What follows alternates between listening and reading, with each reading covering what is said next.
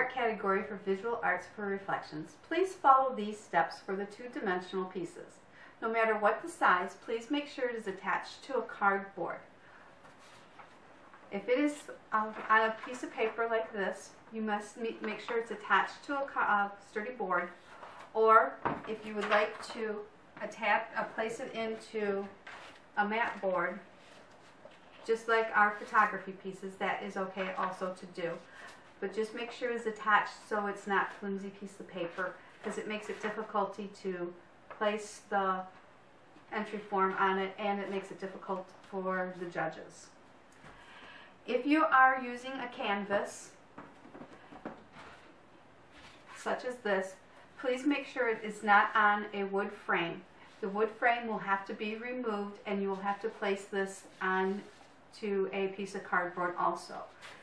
Also acceptable is a board, the canvas boards that are thin. These are already on cardboard and do not need to be remounted. If you are doing a photo collage, you should make sure there are no loose edges on any of the pieces. Make sure it's securely fastened to the cardboard.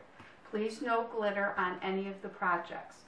Once you have completed your visual arts, 2D visual arts, you will want to place your entry form into a plastic sheet protector and attach it to the bottom, the back side of the entry form.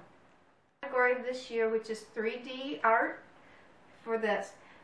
I don't have any examples and I apologize for that, but we must be able to move it to be displayed. It must include packing materials for us to transport. You will have to have three photos of your piece. This is for judging, IDing your piece, and display per pieces. If it is possible to take a piece of masking tape and label the bottom of your piece with your name, the title of your piece, what art category it is, and the grade division, we would greatly appreciate that. Once you have the, those items done, you will place the three photos into a manila folder. You will then place a plastic sheet protector on the front of the folder along with your entry form inside the folder. This will help us to keep the two things together so that they will be able to be judged. Finally, when you have completed your entries, you'll need to do one last step to prepare it for the city level. The visual arts, whether it's a, a photo collage, a drawing, a painting, depending on whatever you do, you will just need to add the Velcro hooks to the back side. Depending on the piece, you will need two, three, or possibly even four. If it's a heavier board, you'll probably need four and then this way it'll be ready for display. The 3D visual arts, we will have tables set up at the city level competition to display those uh, that way. And one final thing to remember with your visual arts projects, please do not put your name on the front of the canvases, anywhere on this.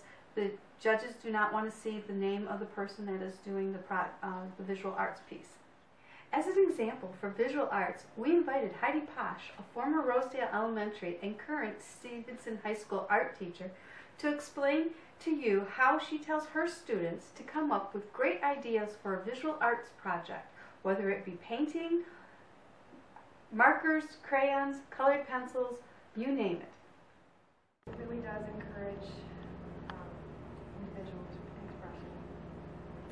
Some of my students here from Rosedale a couple of students and people over there too. Um, one of the nice things too about it is you can work it anything. So if you are a painter or you really enjoy working with charcoal or chalk or anything, it works. Also, I would not be too stressed about all the different um, requirements for turning in work. Our teachers are usually pretty good about doing that and helping you with that. Um, and to the young man over there who was talking about, um, that you were talking about uh, the comic, I think the comic would really go well into visual arts. Right. So that's something that you can think about too. Um, and we're going to be here and we're going to be working on some ideas. I would just suggest going over the theme, really brainstorming, making sure that it ties into things that seems to be very important, and they really want to know. What so that's all. Thank you.